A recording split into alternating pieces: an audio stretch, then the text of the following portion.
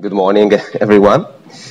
And I'm going to introduce you to this work we done uh, with CMCC, European uh, uh, Climate, uh, Euro-Mediterranean Climate Center, uh, for the Republic of Mauritius that asked us to produce uh, a multi-risk assessment.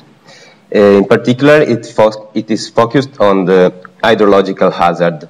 It means the hazard that comes from water, and in the specific, it is um, coastal inundation, so produced by sea level rise, and uh, flooding, uh, river flooding, and uh, the landslides, which is also a product of a morphological and hydrological process. So, first of all, I would like to um, introduce the characteristics of uh, small islands developing states, which is the context of which uh, also Mauritius uh, is inserted and then um, speak uh, with more details what we actually done in uh, in Mauritius uh, with a little detail on the methodology and um, what the actual document is aimed for.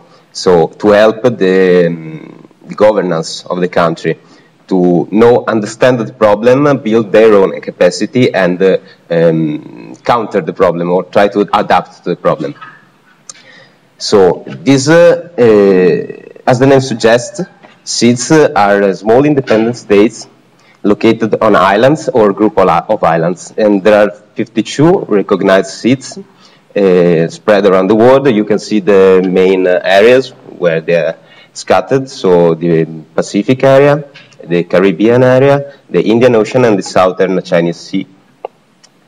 And these countries have something in common. They share some critical characteristics compared to other countries, to inland countries, such uh,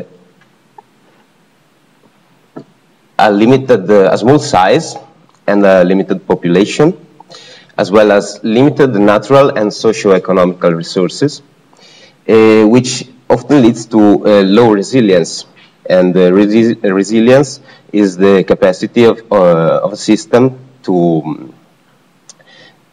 a system which is exposed to hazard to response to distress events uh, while remaining functional. So to keep working even in, uh, in extreme events and uh, natural disasters.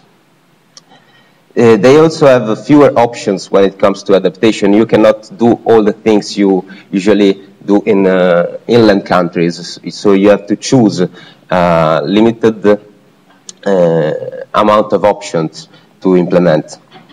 And uh, in the end, they have higher vulnerability to natural hazards compared to other countries.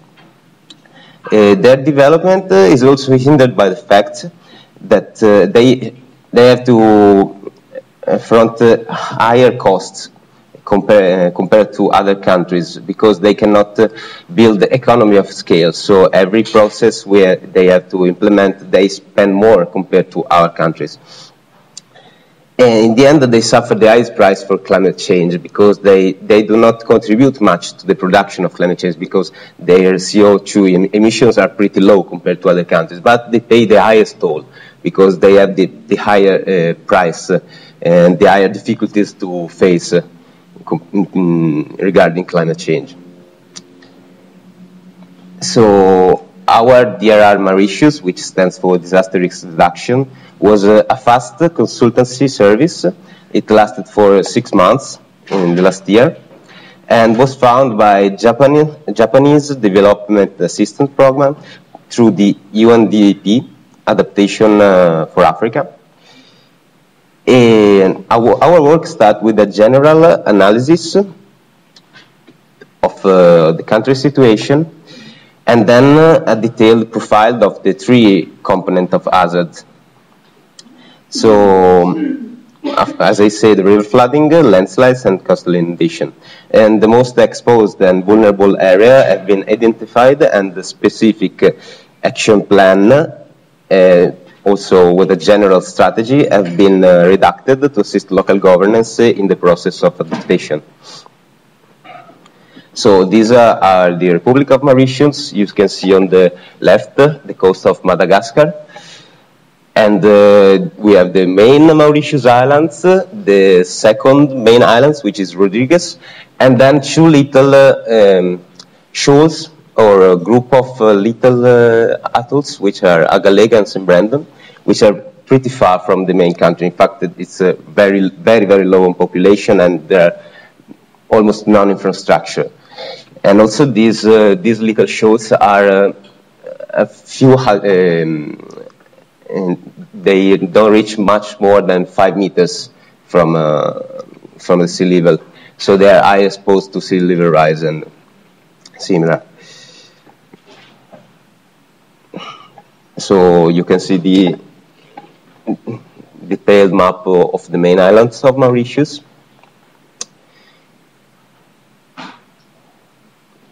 And this framework uh, pretty much summarizes our work. Uh, we have uh, we have the problem, the climate change, and we have uh, the modification of uh, natural parameters such as precipitation and temperature patterns, and these parameters affect the probability and the magnitude of natural hazards.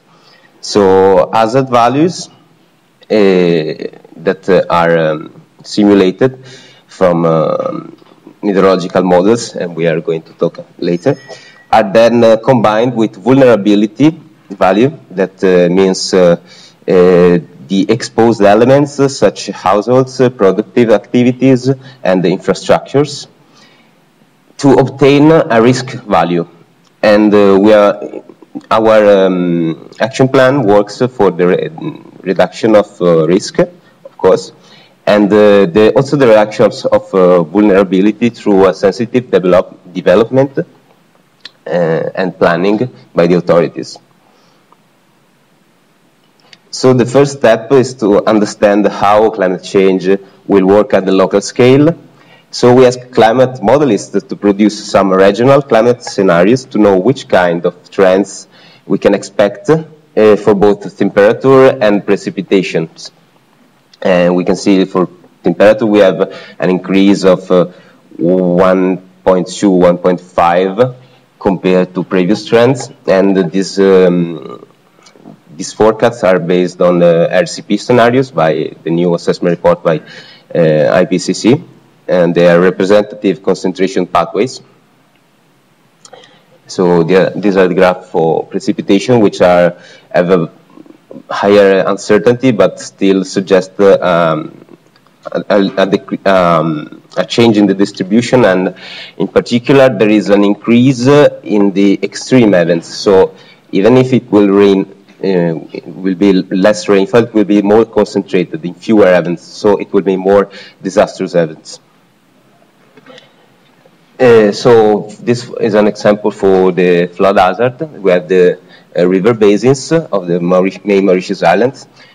And uh, through the use of hydrological models, we produce uh, hazard maps. So we simulate the runoff of the precipitation using the climatic model as an input. And we obtained the probability of distribution of flooding water on the, on the land for each basin.